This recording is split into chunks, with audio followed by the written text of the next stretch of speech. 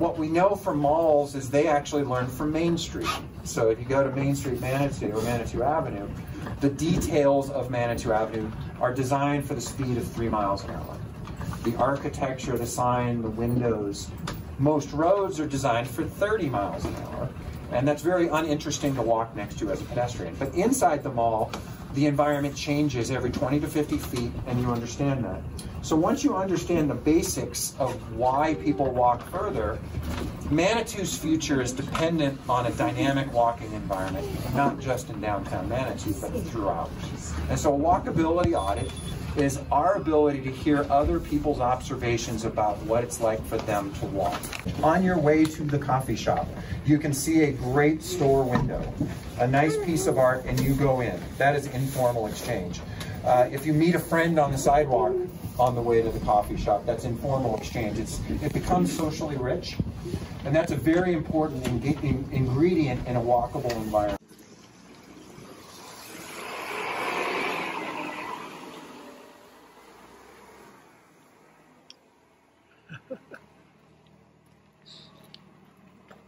West didn't look like it was going to stop. I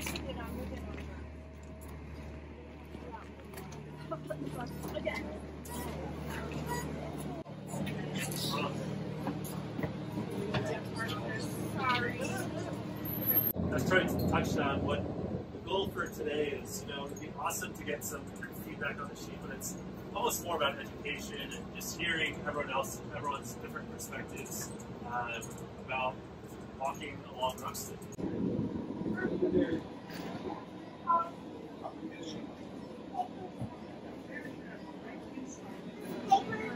There is no convenience. so this, I mean, I could comment on on Manitou, but for here, there are no sidewalks. There are no crosswalks. Were you able to cross the road at, at a roundabout? There is, you know, so we can, I can, I think we can say it's not convenient.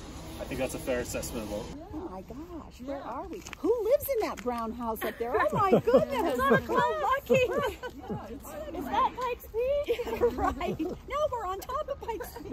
Yeah. So- these hardy souls who live up here. Exactly. uh, trail besides our trail. There's other.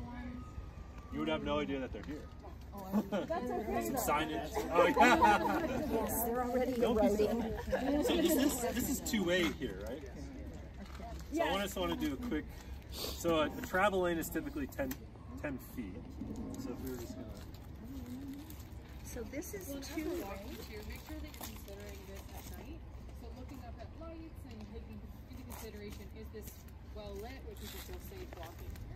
I mean, it'd be great if they could bury all the power lines and From kind of in the Make right it- here. Yeah, that's So Probably. Part of the issue apart is the ground is So too think it's two too hard. 20 too hard. Yeah, I mean, feet to play with. you look in other parts of the country, they don't have power lines anymore. They don't have stuff like this. exactly, exactly. And those are eyesores, but what do you do? So it's, it's so those are the things to think about. A sidewalk is typically by ADA. He was mentioning that I mean, it's expensive, but you can underground power lines.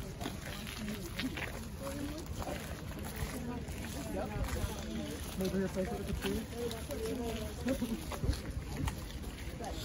he was mentioning that I mean, it's expensive, but you can underground.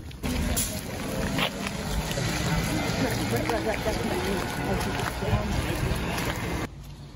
Yeah, I think making it, yeah, not not too over improved, maintaining the naturalness of it coming down here.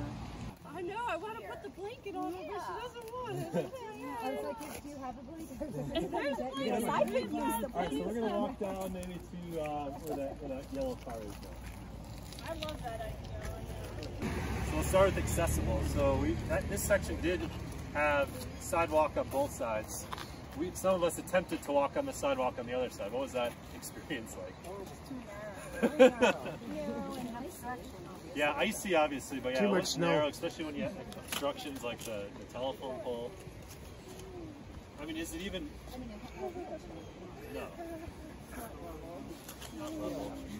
Like, at what point is it even worth having a sidewalk, or would it make sense to maybe push everything to one side and just have a one wide sidewalk. sidewalk on one side.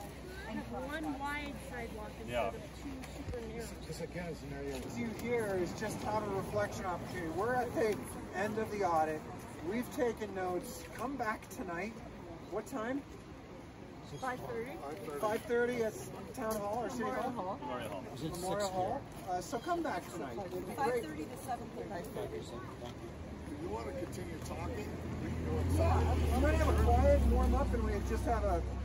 If you'd like to see the church, I'll open the church up and we can Let's talk do it. continue talking there.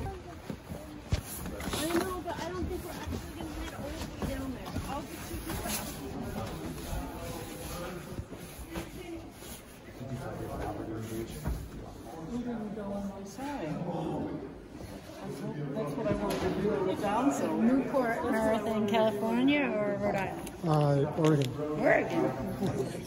important destination.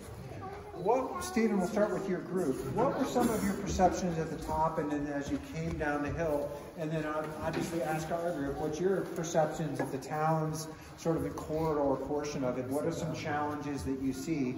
But maybe start, Stephen, real quick to get your group and some of the observations they made. Yeah, so It's really difficult to get off the bus. Has a delineated line where it's supposed to pull close to the curb so that traffic can continue to flow around it.